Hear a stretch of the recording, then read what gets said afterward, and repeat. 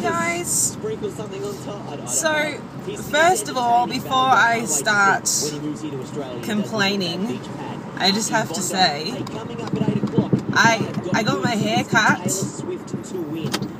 Today, change the radio dial if you want Taylor and. I actually meant to say in my last video that I was going to do this and um, gauge your response, but I forgot. So, um, what is it like? Can you see it? It's like shaved here.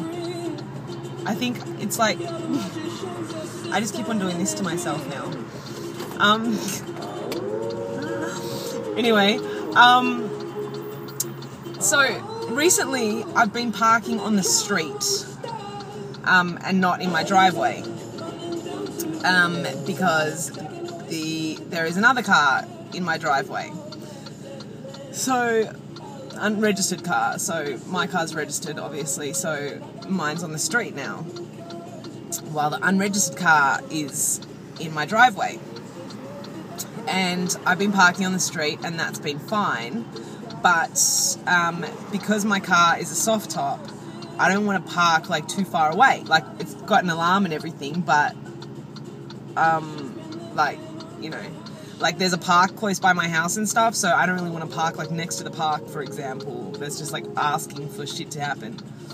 Um, so what I've been doing when um, fuckery allows is um, parking over my driveway because usually well before my house was um, blessed with a driveway the strip of parking spaces outside my house there was room for three cars.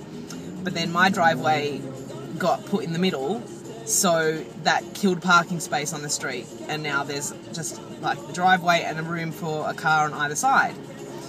Um, so you know that's fine. Like parking in my area is really tight.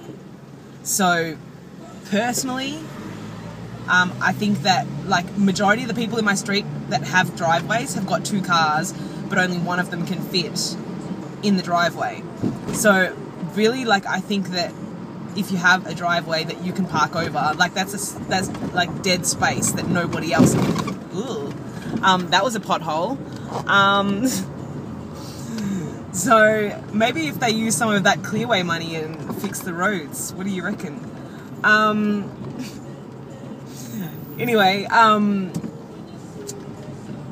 I've just totally lost my train of thought. Yes, so lost it completely. One second. Um.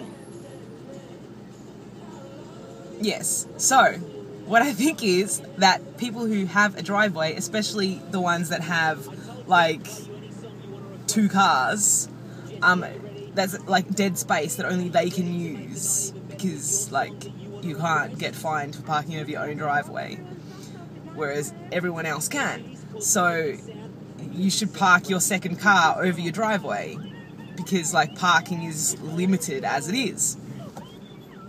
Um, come on, fuckface, it's not going to get any greener. My fucking horn is far too. Um, it's not sensitive. Anyway, so. Yes, so I've been doing that. And some of my neighbours have um, been good about it, but I found it was actually the ones least likely to be good about it that have been good about it.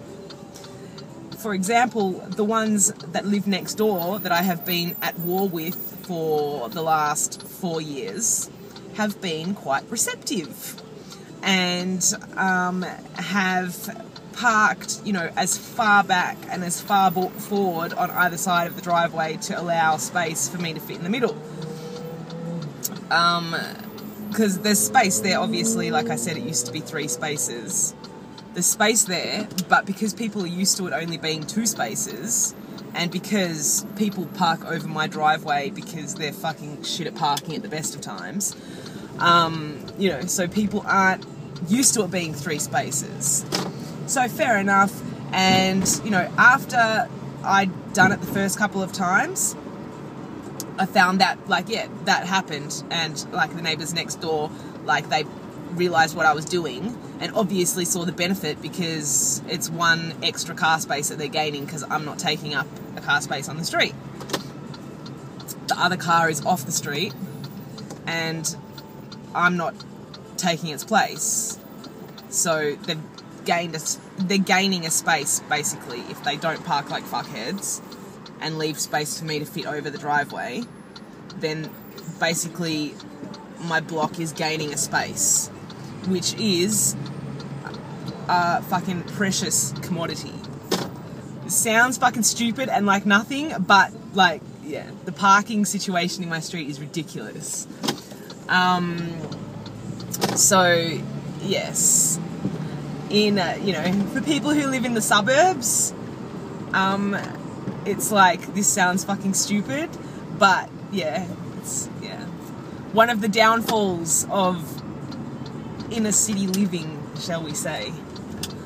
Um, yes, so, but what I found is the neighbours who I thought were okay have actually decided to play fucksies with me.